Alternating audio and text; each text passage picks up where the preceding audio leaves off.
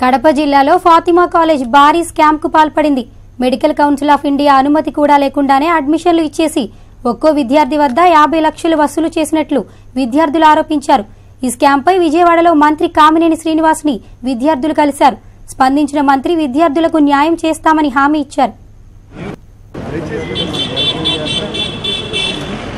ఏ కారణంతో అయినా సరే జరిగిన మాత్రం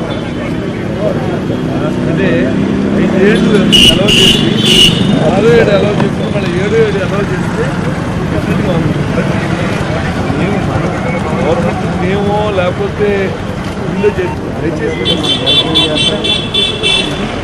ఏ కారణంతో అయినా సరే జరిగిన మాత్రం అంటే ఐదేళ్ళు అలౌ చేసి ఆరు ఏడు అలౌ చేసి మళ్ళీ ఏడు ఏడు అలౌ చేస్తే డెఫినెట్గా ఉంది ఎస్ఎస్కి ten months gap ten months వీళ్ళు కోర్ట్ వేసుకొని కాలేజ్కి వెళ్ళారు సార్.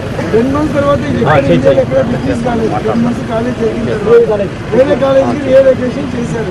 తమిళనాడులో జరిగిందిగా పిల్లలను అన్ని కాలేజీలో అచీవ్ చేశారు సార్. ఏమనేది ఏంటంటే ఎవరు తప్పు ఎవరో తర్వాత వీళ్ళని ఇంటికి పంపండి ఎక్కడికి పోతుంది సార్ మీరు గవర్నమెంట్ పరంగా అన్ని గవర్నమెంట్ చేశారు. పిల్లలతో చెప్పచ్చు జగన్మోహన్ రెడ్డి